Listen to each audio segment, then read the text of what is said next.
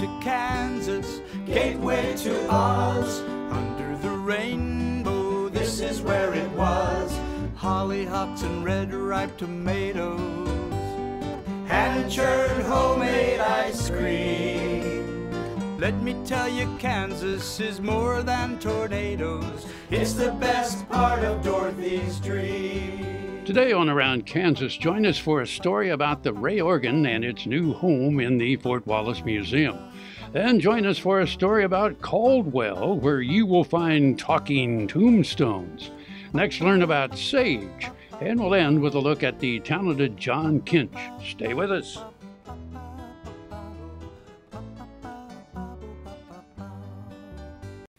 Closed captioning brought to you by Ag Promo Source. Together we grow. Learn more at agpromosource.com. This segment brought to you by Kansas Regenerative Medicine Center. Your stem cells, your health, your life. Good morning. I'm Frank. I'm Deb. And this is Around Kansas. Whew, we're in the fall already, and that means it's a fun time. Well, it's always a fun time in Kansas, but especially now with all the festivals going on, like we just had Labor Day weekend. Labor Day weekend was huge all over the state of Kansas. yeah. Just couldn't make it around to everything that was going on. Yeah.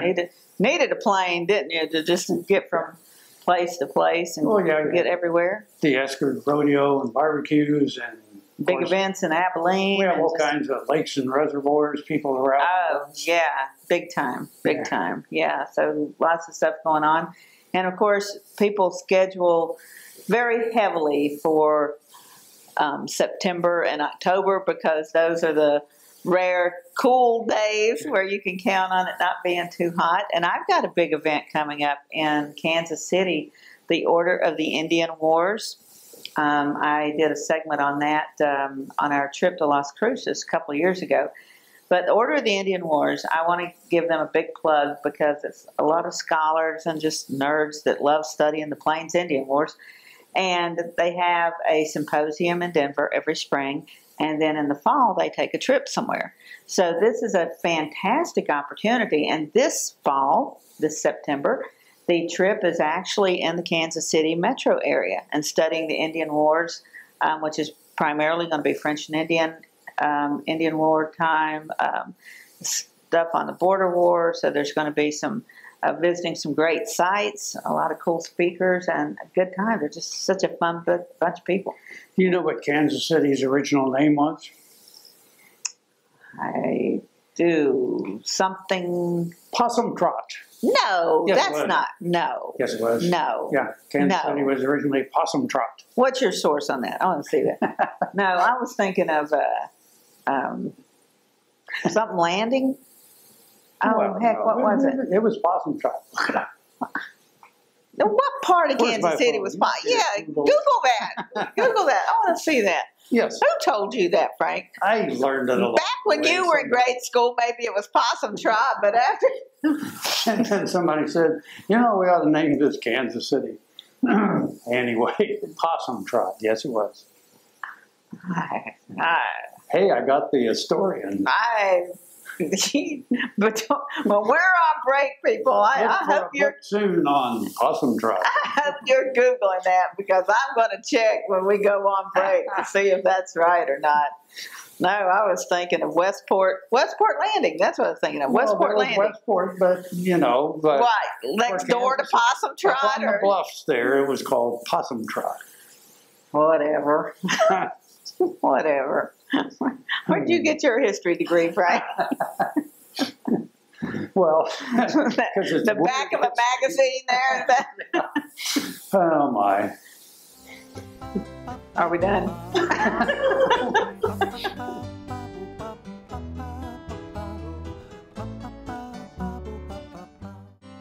Welcome to the Jerry Thomas Gallery, where we feature my renowned artwork, frontier military, and Native American artifacts. Behind me, you see one of the paintings that are featured in the gallery. In the gallery, we not only try to feature the historical aspect, but also the artwork and the artifacts that go into the painting. Captured in the painting is some beautiful storm clouds, and the idea came from Homer Wheeler himself. He wrote in Buffalo Trails years later that a giant storm came up and the wind and hail obliterated the trail of his scattered cattle. So how I created the painting was I used the artifacts that you see here in the gallery and incorporated it to the chaps on his person and also the rope and the saddle and the tack on the horse to create the lifelike aspect of Lost Trail.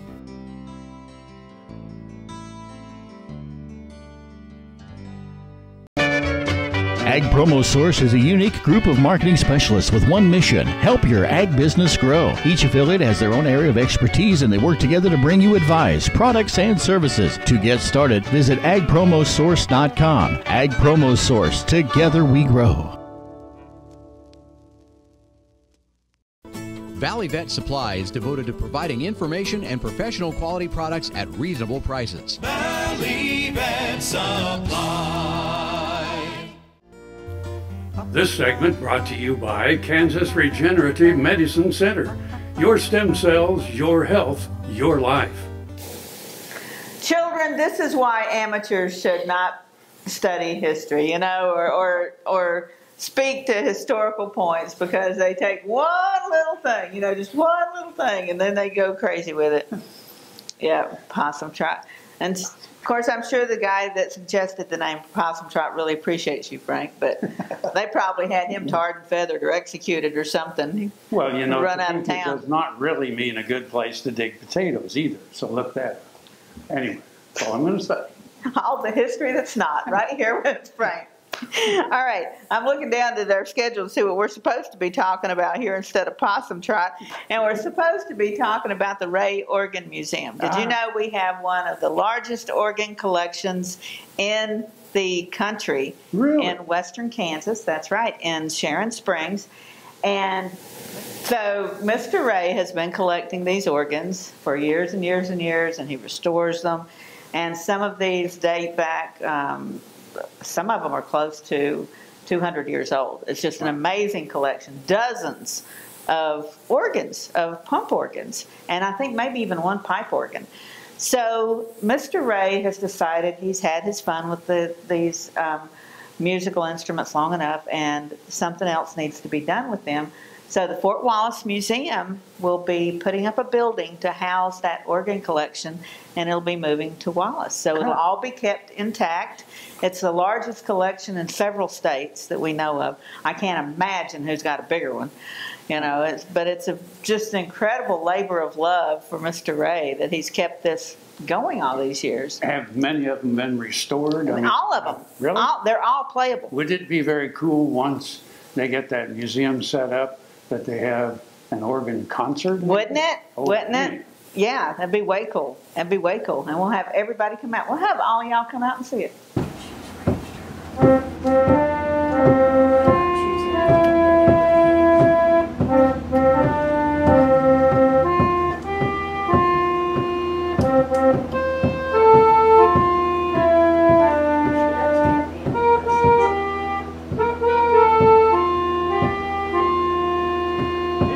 Of the organs that I have purchased, restored it completely. It's all playable.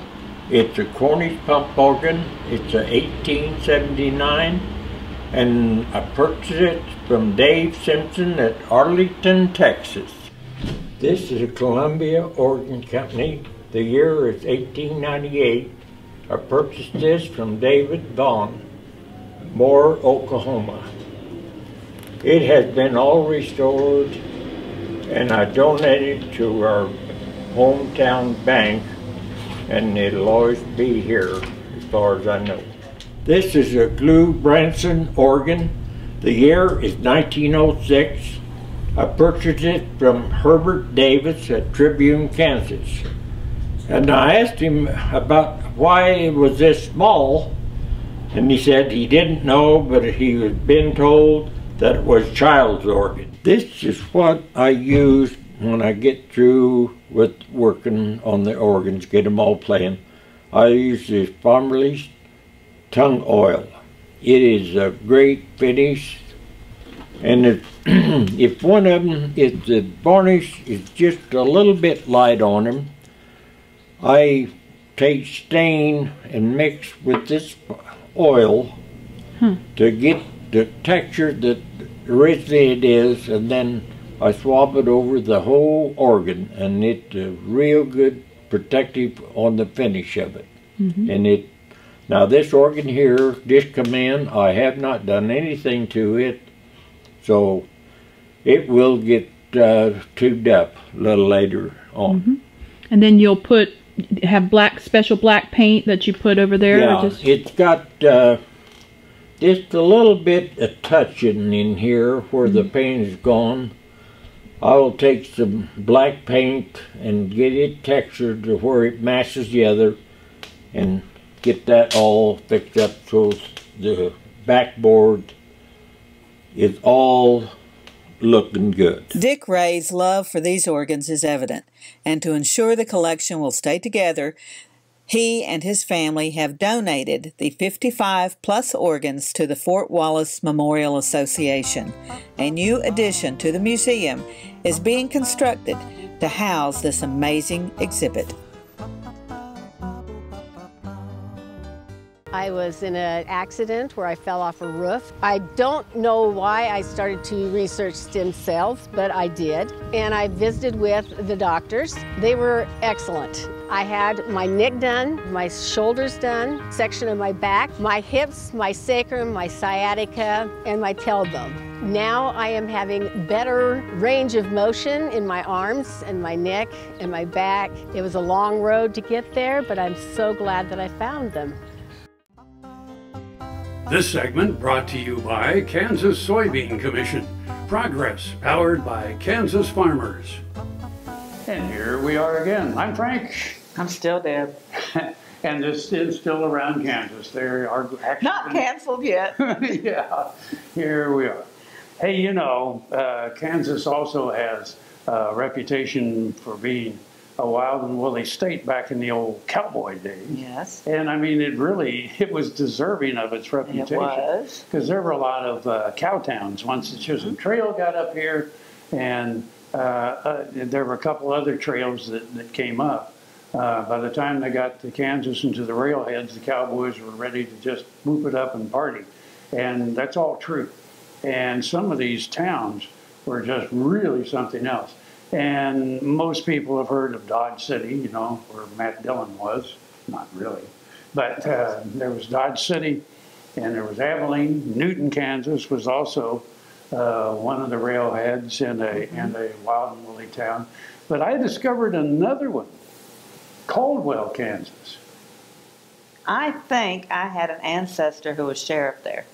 Well, huh, you're going to hear in the story that I'm going to do that sheriffs and marshals didn't last very long no, they in not. Caldwell, Kansas. No, they did not. Yeah.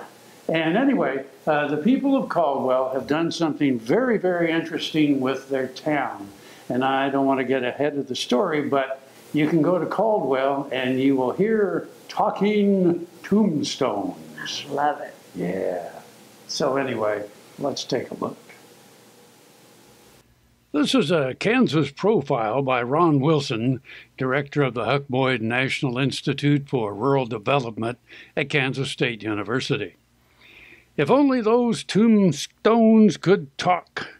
Have you ever had that thought while visiting a cemetery? Well, today we'll meet a rural community which is giving a voice to fascinating histories of the past.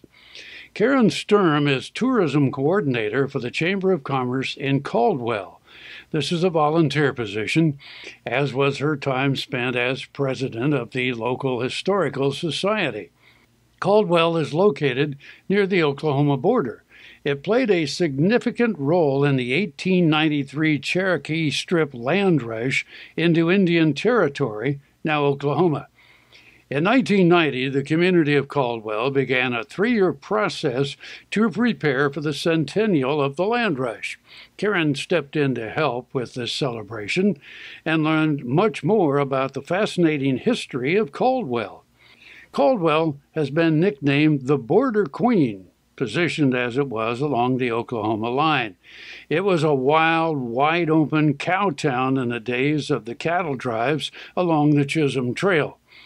Being a lawman in Caldwell was nearly impossible. For example, between 1879 and 1885, the town went through 16 marshals. Violence was rampant. Outlaws were buried in Caldwell's Boot Hill, and a cemetery was begun northwest of town. As volunteers prepared for the Land Rush Centennial in 1993, they wanted to find an engaging way to share the fascinating true stories of people from Caldwell's past. They thought about a cemetery tour, then thought of having people in period costumes who would tell the stories in person while depicting the deceased. The activity was so popular, it has continued ever since. Talking Tombstones is the name of this program, consisting of volunteers in costume sharing their stories at the cemetery. For example, a cowboy with a rifle stood next to his gravestone and told of being killed in a cow camp shootout. Other volunteers might depict a successful lady of the evening, an early day lawman who was shot in the line of duty, the common law wife of a man who was hung at the stockyards, or a pioneer undertaker. Karen herself portrays the widow of Caldwell's first marshal. This has become our most requested activity, Karen said. It's performed for bus tours, school groups, and more. That's a creative idea for a rural community like Caldwell, population 1,264 people. More than 20 historical markers mark the downtown streets, describing historic buildings and true stories of wild shootouts and more. These signs are entirely funded by private donations and local businesses. In 1995, the town erected giant steel silhouettes south of town, depicting a longhorn cattle drive of yesteryear. In 2002, the town's old opera house was going to be condemned and razed. The Historical Society bought the building for the back taxes, Karen said. In four years, the opera house was beautifully restored. It hosts various community events. Near the Opera House, a beautiful metal arch on two massive limestone pillars were built in, in uh, 2011. All these activities are conducted by volunteers. Our local businesses have been very supportive of letting people take time to do these things, Karen said. So, anyway, talking tombstones, Caldwell, Kansas sounds like an interesting place around Kansas. Fort Wallace stood on the frontier in the midst of the Plains Indians Wars on a major stage route and rail line. Beside the 1865 stagecoach station, a modern museum with thousands of artifacts tell that story, like the fossil of a 40-foot plesiosaur is suspended from the ceiling. Located on Highway 40 midway between Hays and Colorado Springs, the Fort Wallace Museum is as welcome a sight today as the fort itself in the 1860s. Discover the fightingest fort in the West. Soil is the life of a farm, and for 25 years, SureCrop Liquid Crop Nutrition has helped growers produce abundant quality crops while preserving and improving the soils they steward. SureCrop offers complete soil and plant analysis with cropping recommendations, delivery direct to your on farm storage, and quality crop nutrition custom blended for your field. Choose SureCrop for the assurance of excellence for your soil. Call today or visit their website for more information. This segment brought to you by Kansas Grain Sorghum, growers working together. Find out more at ksgrainsorghum.org. It's called by many names silver wormwood, white sagebrush, wild sage, prairie sage, wormwood, white mugwort, western mugwort, Louisiana sage, darkleaf mugwort, Garfield tea, lobed cudweed, man sage, and it is abundant throughout the Kansas prairies. Burning white sage and smudge sticks was, and is, used for cleansing and purification for many plains tribes. White sage or man sage was perhaps the most important ceremonial plant of the Cheyenne. The sage was spread along the borders and on the altar in almost every ceremonial lodge. The leaves were burned as an incense to cleanse and drive away bad spirits, evil influences, bad dreams, bad thoughts, and sicknesses. The smoke was used to purify people, spaces, implements, utensils, horses, and rifles in various ceremonies. They used the crushed leaves as snuff for a sinus attack, nosebleed, or headaches. The Cheyenne also use the white sage in their sun dance and standing against thunder ceremonies. The Lakota make bracelets for the sun dance from white sage. Other tribes that use white sage include the Arapaho, Comanche, Creek, Navajo, and Ute. The Dakota and the other tribes use white sage tea for stomach troubles and many other ailments. They use it as a strong tea for eczema and a deodorant and antiperspirant for underarms and feet. The Kiowa make a bitter drink from white sage, which they use to relieve a variety of lung and stomach complaints. Usually they chew the stem and leaves and swallow the juice. The Kiowa Apaches use thin, sharp, pointed section of the stem as a moxa to relieve headaches or pain. The Food and Drug Administration, however, classifies Artemisia as an unsafe herb containing a volatile oil which is an active narcotic poison. Well, all things in moderation, we guess. In the meantime, sage is pretty important to lots of wildlife, including grouse. Buffalo Bill Cody earned his legendary title in Oakley. Bring the family and come celebrate Oakley's pioneering history and unique geography at two sites the Buffalo Bill Cultural Center and the Fick Fossil Museum. Cody's statue marks his achievements and welcomes visitors to the Cultural Center. The Fick Fossil Museum houses world class fossils and artifacts. You'll find Oakley at the hub of U.S. Highways 83 and 40 and I 70. Stop for the legend, stay for the day, discover Oakley.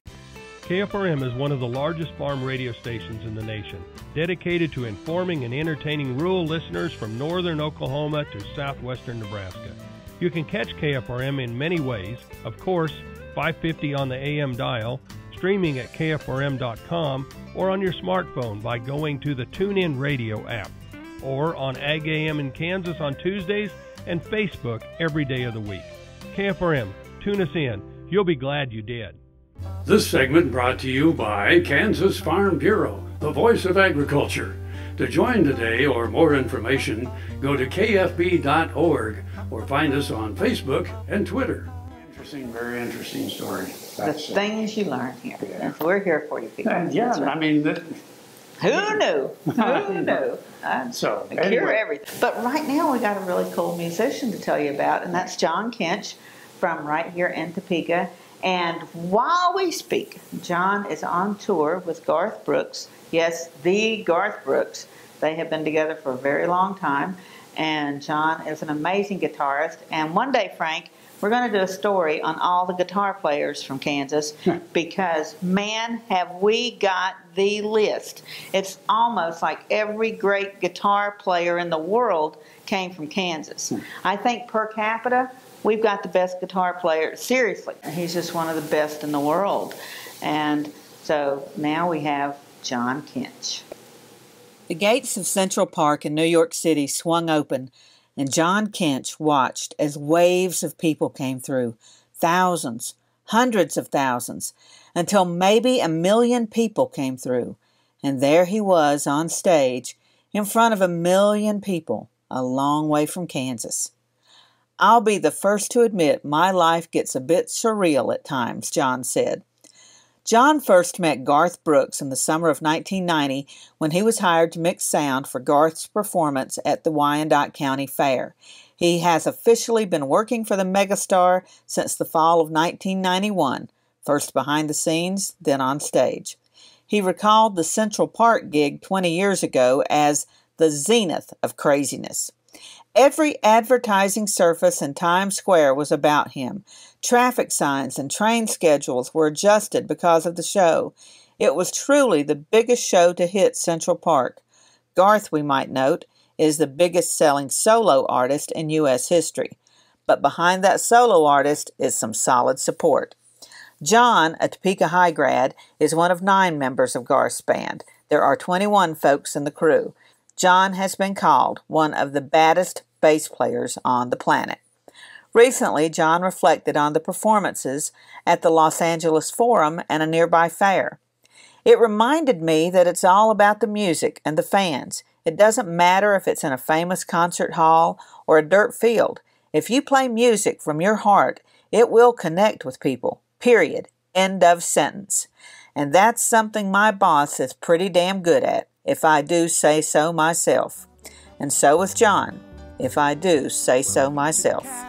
Well, we're all done again, so I'm Frank. I'm Deb. And we'll see you somewhere around Kansas. Hollyhocks and red ripe tomatoes. Closed captioning brought to you by Ag Promo Source. Together we grow. Learn more at agpromosource.com. We're the best part of Dorothy Street. We're the best part of Dorothy's